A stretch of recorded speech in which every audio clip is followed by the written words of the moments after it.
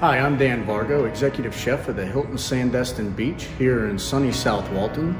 We hope you all are staying safe and enjoying your time at home. And while you're there, we wanted to share with you a recipe of one of our favorite dishes here at the hotel.